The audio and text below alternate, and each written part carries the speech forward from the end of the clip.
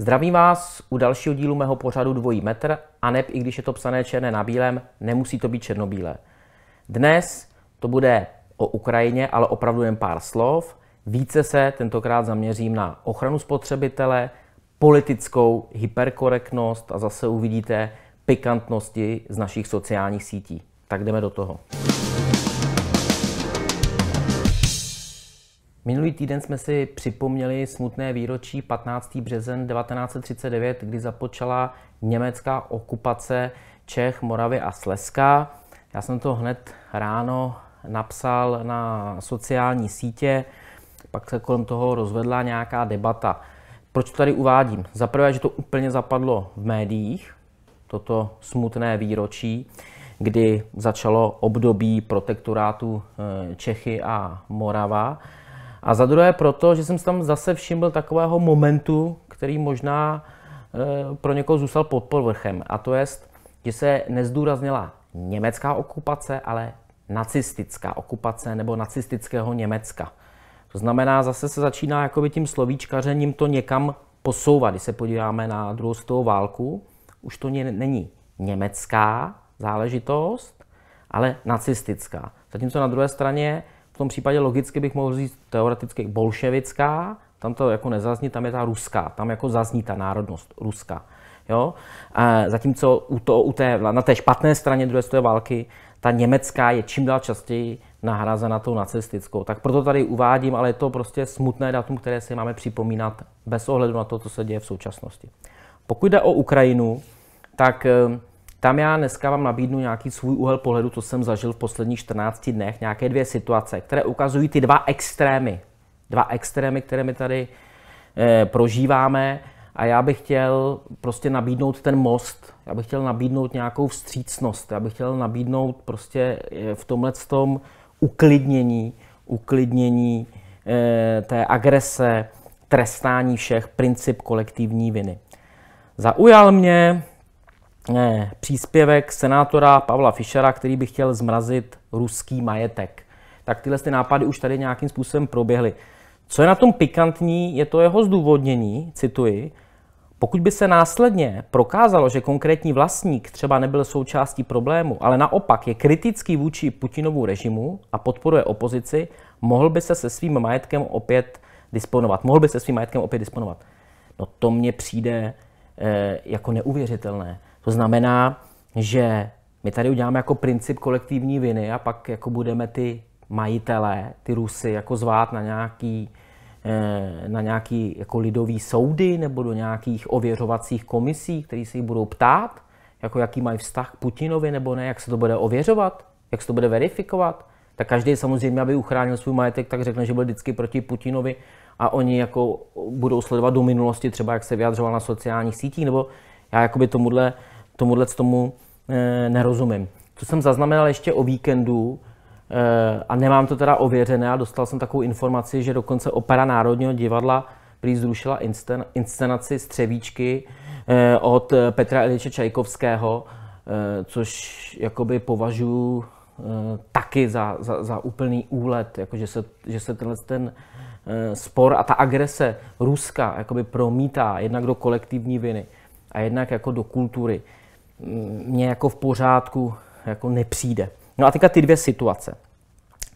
Stalo se mi, že jsem mluvil e, takhle s jednou Ukrajinkou, jak jsem tady minule prozradil, nebo předminule, tak já jsem žil na Ukrajině, když jsem byl dítě tři roky, tak, tak já se bavím s těmi Ukrajinci, zajímá mě to, odkud jsou, kam směřují, jak dlouho tady jsou a podobně. A, a bavím se s nimi rusky samozřejmě. E, základem je, že Ukrajinci mluví rusky, i ukrajinsky, ale z Čechů se s nima domluvíme rusky, možná anglicky, určitě ne moc ukrajinsky. Neznám moc Čechů, kteří umějí ukrajinsky. No a my se takhle bavíme jako rusky samozřejmě, no a teď šel kolem nějaký pán a řekl, ať, ať rusáci táhnou do prdele. Teď by to tady vypípají, ale já jsem to takhle řekl tak, jak to zaznělo. Takže rozumíte, ti lidé už jsou tak jako plný té nenávisti, že už ani neodlišej, že se člověk nebaví s Rusem, když už teda, ale s Ukrajincem a baví se prostě rusky. Jako, tak to, jako vůbec to jsem jako nepobral. Jo? Tak to je jako jedna situace, to je ten, jak jsem řekl, jeden extrém. Ten druhý extrém byl, že když jsem, já jsem byl s dětmi eh, v takové jedné restaurace v Benešově, nebudu ji tady jmenovat, eh, tam pracovala eh, Ukrajinka, je taková síť restaurací, pozor, není to ani McDonald's, ani KFC, je to jiná síť restaurací. My jsme se bavili zase rusky, jsme se bavili, ona říkala, jak tam pracuje, proč tam pracuje, že tam je spousta Ukrajinců, kteří tam pracují, ty bobočky, ta restaurace má i v Praze samozřejmě protože mají 110 korun na hodinu nebo ještě méně, je to hrozně náročná práce a Češi tam moc e, neradi chodí. No, tak jsme se tak jako hezky jako pokecali a já jsem na konci jí prostě dal nějaký peníze, přišlo mi to jako vhodný v té v situaci, jako konkrétně podpořit konkrétní paní, který jsem přijela teďka z té válečné vřavy, maminka s vnukem, to znamená s jejím synem. No, eh, ona se rozbrečela jako štěstím. Eh, ptala se proč, jak, tak jsem jí řekl, protože proto, a protože je sobota, a protože je potřeba jako pomáhat. No ale ty děti, já jsem byl s dětma, ty děti to moc jako nepochopily, tak jsem jim to jako začal vysvětlovat. Dostali jsme se ven z té restaurace na chodník, tam jsem jim to vysvětloval, jakoby, že člověk tam, kde může, ať pomůže, ne, nejlépe konkrétnímu člověku. No a tu prošel nějaký člověk kolem a říkal, jo, jo, Ukrajincům teďka všichni pomáhají, ale nám ne. No tak to jsem zůstal úplně opařen, úplně stejně jako s tím člověkem, který nám tam začal nadávat, protože si myslel, že když mluvíme rusky, tak jsme rusové. Dvě situace, které člověk zažil. Zatím tam byla slovní taková agrese, nebyla to fyzická agrese, a byly byly krásně ty dva extrémy.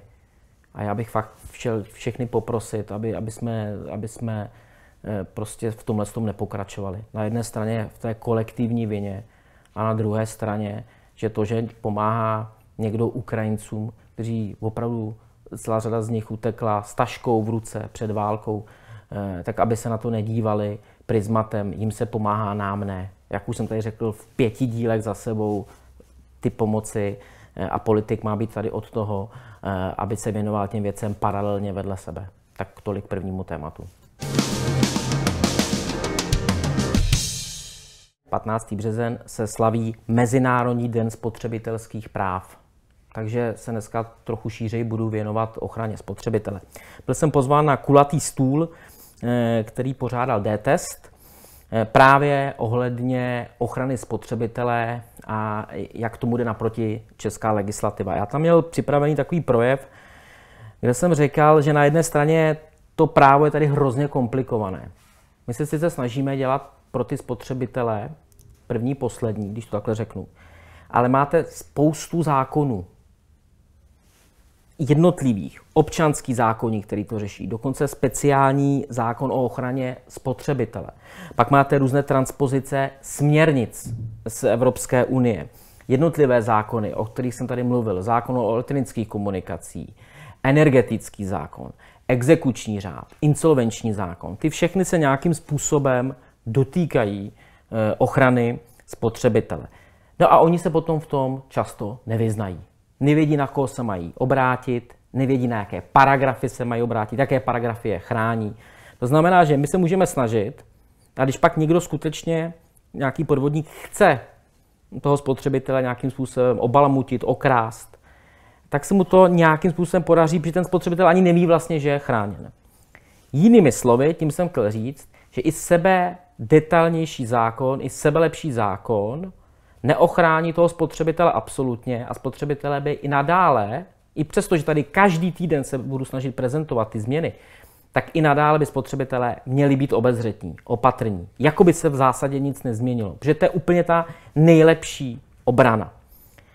Jako příklad jsem tam uváděl, že i dokonce i dobrý jeden konkrétní zákon, jeden konkrétní pozměňovací návrh může být různě zneužit.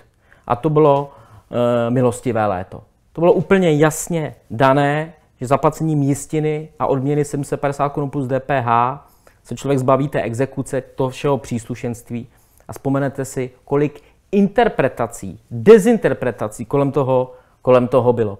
E, takže tady vlastně mě to připomnělo, že se připravuje milostivé léto 2 a někdy v dalších dílech já vám řeknu nějaké detaily o tom milostivém létu 2, který by měl proběhnout, když to bude dobře, na konci tohoto roku. No a když už jsme u, u té ochrany spotřebitele, tak já jsem tam mluvil i o jedné pikantnosti, že sice de jure to postavení klientů se zlepšuje a zlepšilo, tím, jak měníme tu legislativu, kultivujeme to prostředí, zejména u exekucí, insolvencí. De facto je otázka, je otázka, jestli to ti lidé opravdu reálně poznají. Proč? No protože ty orgány, ty instituce, které na to mají dohlížet, které mají opravdu chránit ty spotřebitele, eh, mají mít i třeba nějakou poradenskou, eh, poradenskou ambici, tak ty dostávají méně a méně peněz. A já jsem jako příklad, a jsem to uváděl i v poslanecké sněmovně, snažil jsem se mít, eh, jsem se snažil prosadit tři pozměňovací návrhy, aby více peněz dostal Český telekomunikační úřad, protože od prvního první se změnil ZEK, zákon o elektronických komunikací. To jsou ty, to konec marketingového navolávání. Nepodařilo se. Od prvního první se změnil energetický zákon. To jsou ty energošmejdi, zprostředkovatele. A ERU, Energetický regulační úřad, má víc povinností právě z registrací těch zprostředkovatelů a dostane dokonce méně peněz.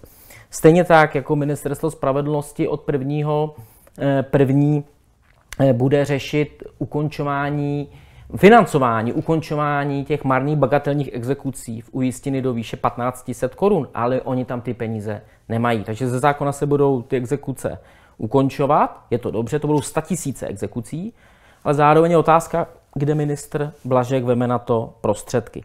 No a stejně tak jsem se dozvěděl, když jsem takhle interpeloval ministra průmyslu, že spotřebitelské organizace nedostanou tolik prostředků, jako tomu bylo dříve. Tady vedle mě vidíte dopis, které ty, eh, ty organizace eh, na ochranu spotřebitele napsali ministrovi průmyslu.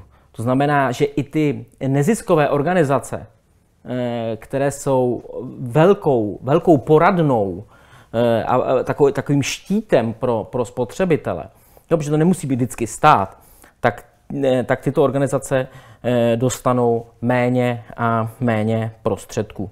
Eh, k tomu je potřeba přičíst, že tato vláda, bohužel, už jsem tady také o tom mluvil, stáhla eh, ten zákon o hromadných řízeních, o, o hromadných žalobách. Já na to budu neustále tlačit, protože to je další část do té mozaiky větší ochrany spotřebitelů. Takže suma sumárum, ty zákony se mění, od prvního první toho platí bezpočet, ale ty instituce, které to mají zaštiťovat, tak mají méně a méně prostředků. Takže já jsem zvědavý, jestli skutečně Eh, i v praxi dojde k větší ochraně spotřebitelů. Poslední zpráva z tohoto ranku. Eh, minulý týden zveřejnili banky eh, svoje zisky. Meziročně stoupl zisk celého bankovního sektoru o 23 miliard. Za rok 2020 to bylo 47,5, přibližně za rok 2021 70,5 miliardy korun. To má ten skok, ten posun je, je nejvyšší, co já tady mám v, v historii o 23 miliard. Pravdu je, ale eh, je potřeba říct, že v roce 2016 vydělávaly banky u nás eh, téměř 74 miliard a rekordně to bylo v roce 2019, to bylo 91 miliard. To znamená, pak byl takový trochu sešup, eh, nebo trochu velký sešup v tom, v tom covidovém období a teď se ty banky vrací. Tady v tomhle tom snad jediná věta je na tom krásně vidět, že eh, ty banky jsou u nás zdravé, silné a nadprůměrně ziskové, nadprůměrně v tom evropském nebo světovém formátu. Takže tolik informace z, eh, z ochrany spotřebitele. A jak jsem minule slíbil, tentokrát trochu šířeji o politické hyperkorektnosti.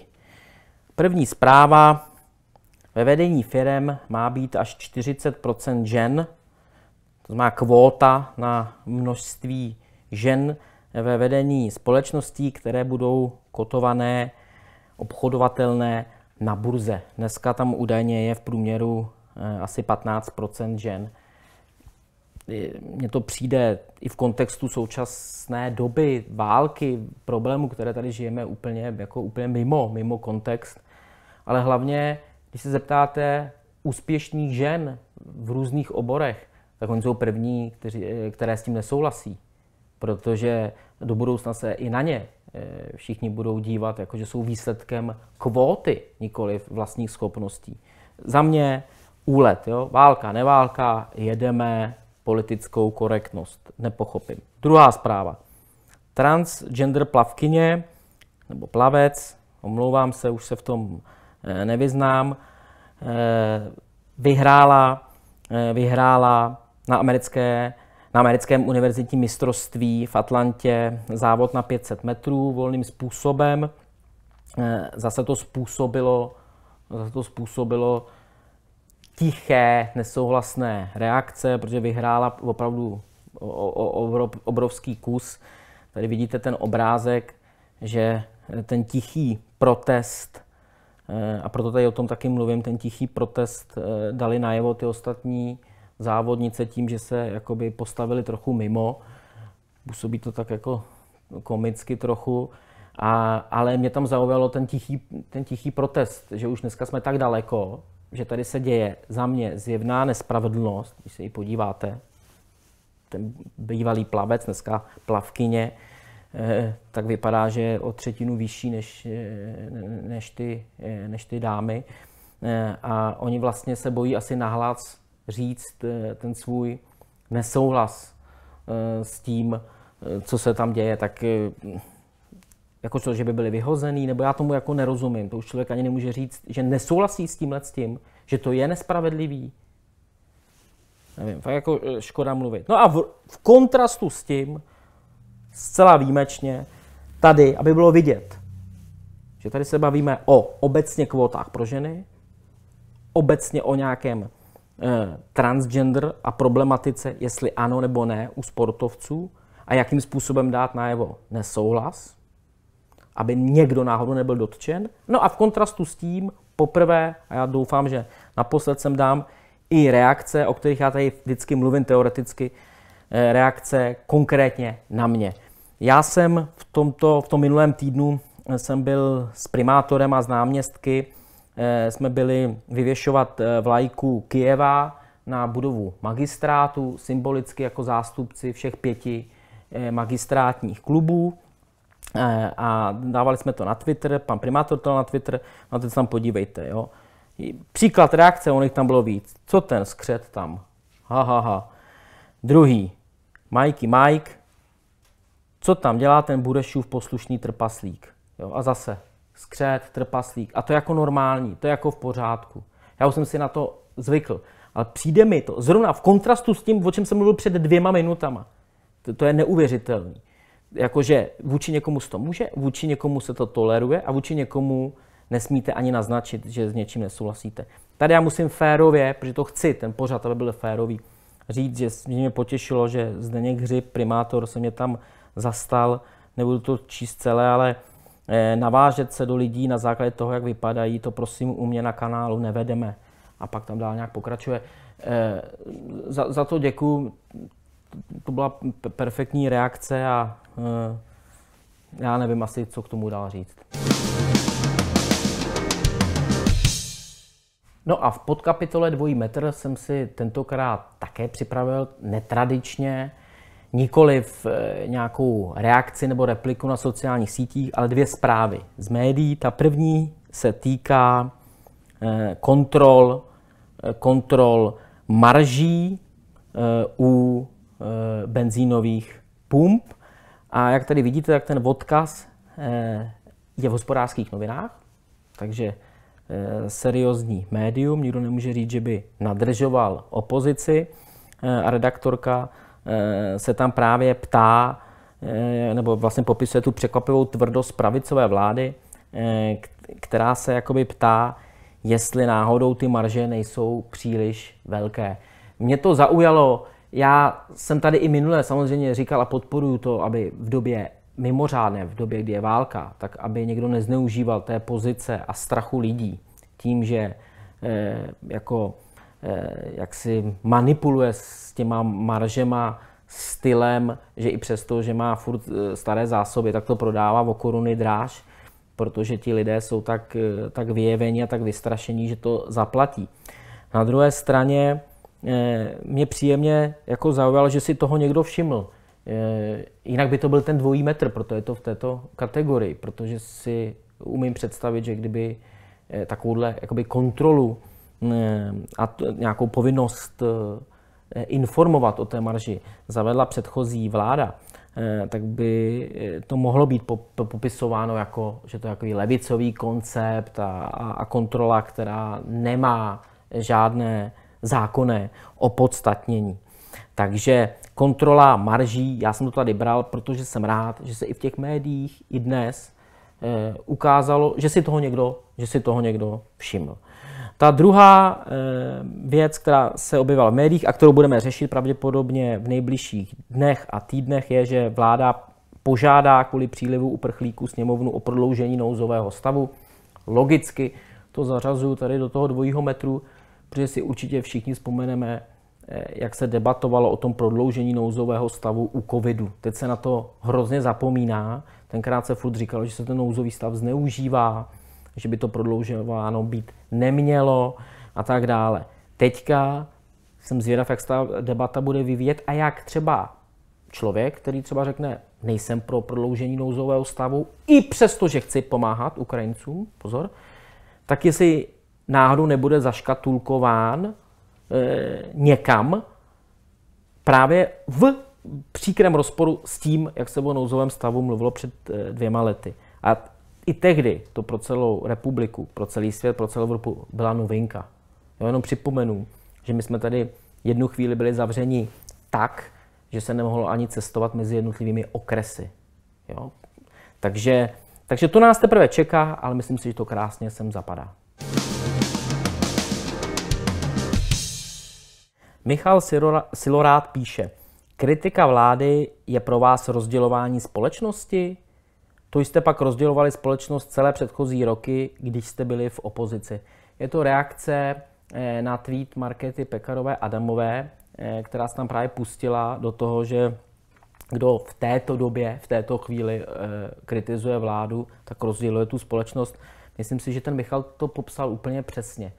Zatímco předtím také v mimořádné době toho covidu byla kritika opozice na denním pořádku a tleskalo se tomu, tak teď kritika vlády rozděluje tu společnost. Tam už chybí jenom kousek, že kritika vlády znamená být na straně Putina. Jakoby ve všem, ve všem. Kritika vlády ve všem.